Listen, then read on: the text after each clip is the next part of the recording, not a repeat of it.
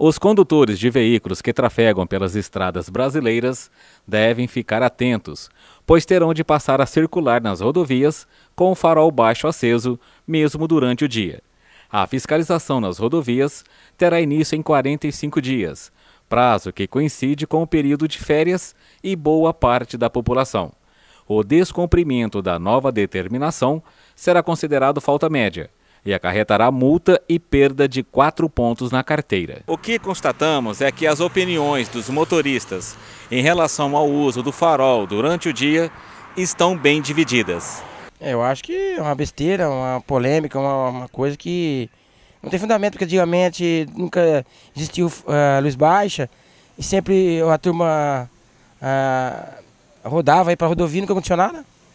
Você acredita então que não vai reduzir os acidentes devido ao farol estar aceso? Eu acho que não. Eu acho que não. Mas é uma polêmica, né? Sei lá, uma polêmica, porque quando o cara é profissional, é profissional mesmo, não pode existir erro. Para lado de jeito nenhum. Ah, para nós não muda nada, porque a empresa toda a vida pedimos para nós usar. Para nós não vai fazer diferença nenhuma. Você acredita que os acidentes é, eles diminuem pelo fato de vocês motoristas estarem com os faróis acesos na rodovia? Uai, deve diminuir, né? Porque eles estão implantando essa lei aí, deve ser bom para nós todos. Esta empresária, moradora em São Paulo, motorista há 33 anos, disse ser completamente favorável ao uso do farol baixo nas rodovias durante o dia. Eu acho que tem que ligar mesmo. Eu tenho carta há 33 anos e 33 anos eu adoto essa, essa situação. Ligo o farol porque já é uma visão. Quem está vindo te vê, quem está indo está te vendo do mesmo jeito.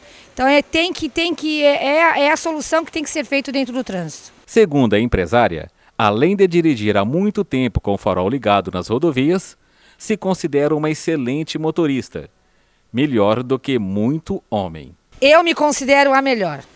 33 anos de carta, pego estrada, pego o que for necessário, vamos embora. E eu não sou barbeira não, eu sou a motorista. Você já viu muito barbeiro homem muito barbeiro. durante a, o seu tempo de motorista? Sim, muito barbeiro homem. Eu não posso falar do meu marido, porque eu não vou criticar o meu marido aqui ao ar.